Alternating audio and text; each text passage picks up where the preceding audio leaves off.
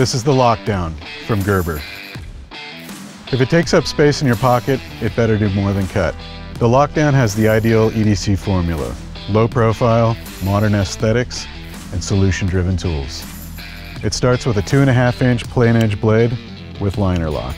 You also get a replaceable number 11 utility blade and a file with a chisel edge. The Lockdown is offered in two different tool packs, drive and pry.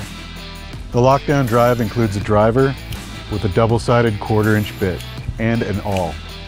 The Lockdown pry features a multifunctional cast pry bar with a bottle opener, large and small flathead drivers, and a nail puller.